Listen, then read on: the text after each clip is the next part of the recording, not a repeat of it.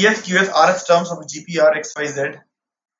Find x to power q minus r, y to power r minus p, z to power p minus q. x is equal to a.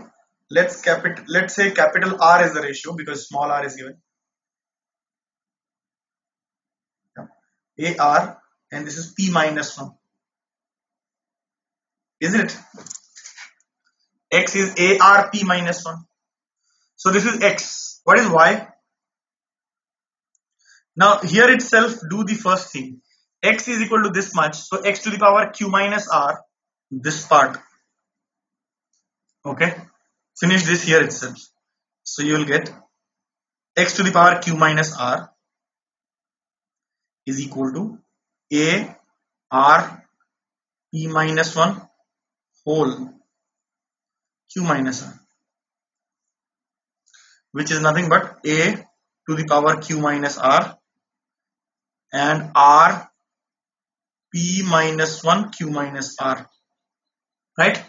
This is for x to the power q minus r. Similarly y to power r minus p will be a.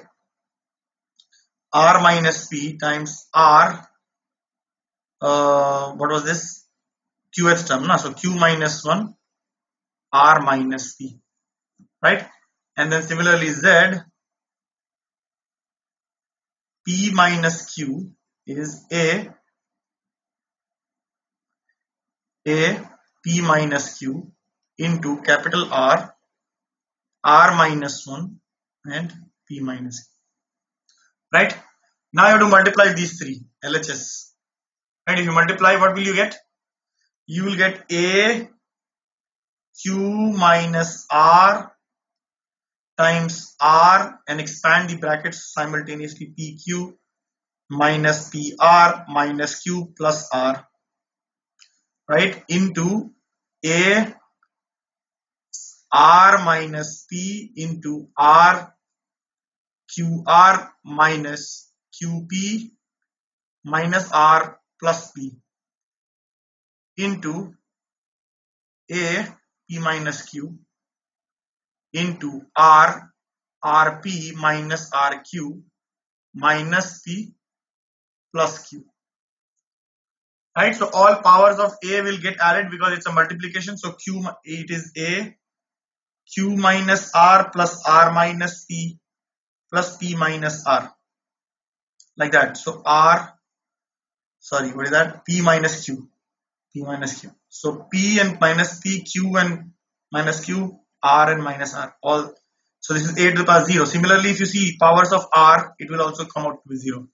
So A to the power 0 into R to the power 0. 1.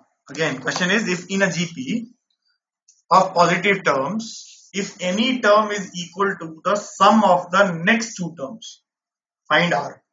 Right? So if in a GP of positive terms, if any of the term is equal to the sum of the next two terms. That means an is equal to an plus 1 plus an plus 2. This is the, so this is, uh, right, an is equal to an plus 1 plus an plus 2. So what is an?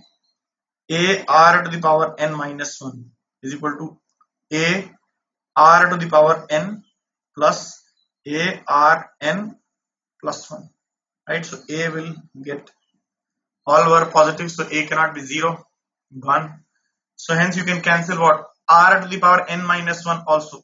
Yep. Divide the entire equation by r to the power n minus 1 this will give you what? 1 is equal to r plus r squared. So hence your quadratic equation is r square plus r minus 1 is 0 right? Hmm. So hence R is minus B